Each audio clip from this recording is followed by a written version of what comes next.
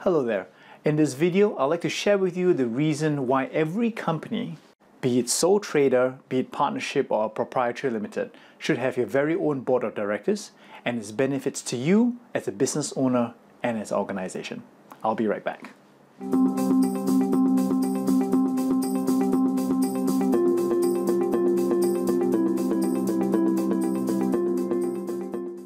Welcome back. The role of the board of directors in a company is to represent the shareholders' interests in the day to day affairs of the company. Now, in major organizations, the diverse backgrounds of the board of members would provide a breadth and depth of experience in all areas of the business. And their position is to advise the CEO and ensure that the company decisions are geared towards achieving certain strategic objectives. The decisions taken should be intended to grow the company and to benefit the shareholders. But what if your company is owned by a few shareholders? Do you really need a board of directors then? What if your organization is just made up of yourself and another partner? What if your company is only you?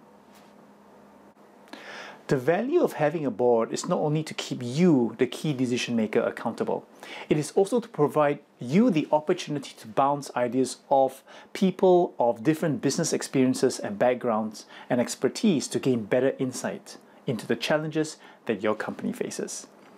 As an entrepreneur, your success depends on your ability to make your business work and sticking to your principles even when the odds are against you. However, this stubbornness can also prove to be a great downfall of your business if you persevere with a bad decision. Therefore, having a board of directors or a sounding board can really add value to your business. So, how do you go about building your own board of directors or sounding board? Well, firstly, you need to define it. You have to define your own version of what a board of directors should consist of. It can consist of an individual person or a group of people with the breadth and depth of business experience that is different to yours.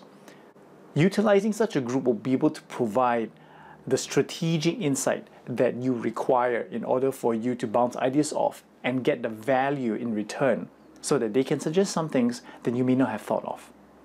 By defining your board of directors and the pickup and type, it then brings you to the next step set your criteria. Your board of directors should consist of people whom you trust and respect, who have some form of business experience, and who ideally should have subject matter expertise that is different to yours.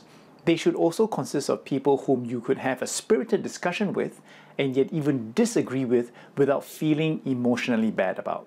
The reason why I brought the last point in is to clarify and to ensure that your board of directors functions specifically as a board of directors with minimal emotion involved so that the adequate and the proper business decisions can be made. Once you have defined the type of board of directors you would like and you have established your criteria for that, the last thing you need to do is go and find them. Once you have found them, you need to approach them. You need to be prepared to offer them something of value in return to come on board with you to work with you on your business. If you understand the value that you can add to your business by surrounding yourself with people whom you respect and are well informed, either with your board of directors or even with a business consultant or advisor, then you owe it to your own success as a business owner to do just that. Doing otherwise will rob you of what you can achieve in the future. In the comments below, share with me how having a sounding board has benefited you in either in your life decisions or your business decisions. I would like to hear about that.